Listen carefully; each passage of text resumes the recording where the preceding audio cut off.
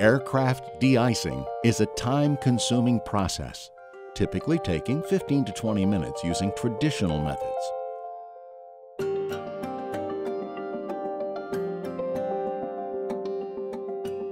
MSG Production has developed a unique solution, optimizing this safety-critical process in terms of time and consistency.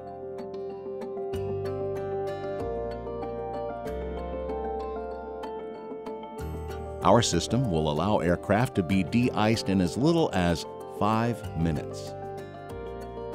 This permits up to 12 aircraft to be de-iced each hour, saving time and improving efficiency. Automation eliminates human error and provides full audit trails. Through recycling of de-icing fluids and elimination of groundwater contamination, the system delivers economic, safety, and environmental benefits to both airlines and airport owners. MSG Production, the future of de-icing.